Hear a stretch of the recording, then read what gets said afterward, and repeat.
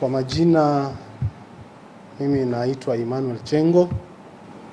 Tuko hapa kama concerned citizen wa eneo hili letu la Pwani, hususan kwa swala ambalo jana tunaliona uh, limetokezea hususan kwa Mheshimiwa Gavana wa Machakos Bwana Alfred Mutua baada ya kutoa tetesi ya kwamba maisha yake yako hatarini e, na akaweza kunukuu majina ya waheshimiwa pale wawili Bwana Murkomen na leader of uh, majority in the National Assembly Bwana Duale. Na kwa kweli wakati huu ni kipindi ambacho kama tujuavyo, kipindi nataka kukiita ni cha handshake na handshake ilikuwa imebeba mambo mengi. Hata wakati wa kuzinduliwa ripoti ile, nafikiria wito ulitolewa pale. Kuanzia viongozi wetu na hata wale wageni, lakini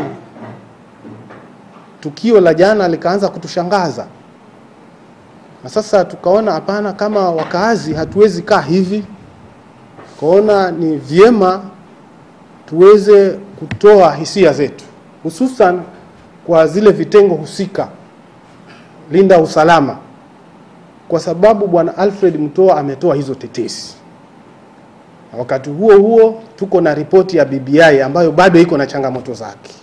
Ombi letu ombi letu kwa hivi vitengo mbalimbali mbali.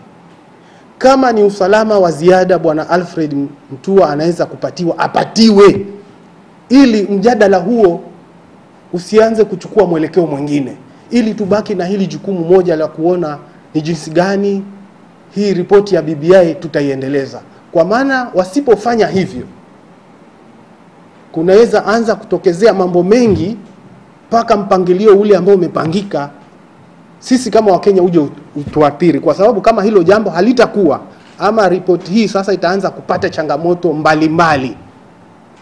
Leo ni Alfred na kwa kweli ako na haki zake kama mwananchi wa jamhuri yetu tukufu ya Kenya, na tukiangalia nyumani huko masuala haya, viongozi wengi pia wamepoteza maisha yao katika hali kama hizo.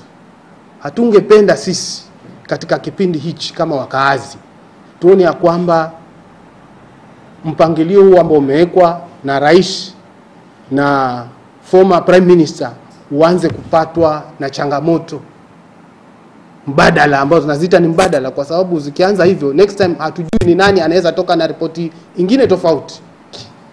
Kwa hivyo ombi letu ama umuhimu wa kuwaita nyinyi kuja sisi tuweze kuweza kutoa hisia zetu kwa Jamhuri ya Kenya na hususan kwa hizo vitengo.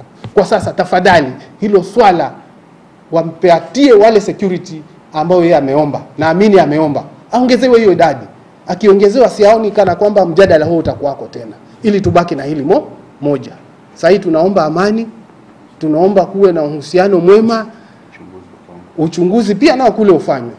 Hatutakataa uchunguzi ufa ufanywe, si wa kwanza huu, lakini uchunguzi ufanywe, lakini hili moja ili angalau lisije likaanza kupata hujuma kutoka pande mbalimbali.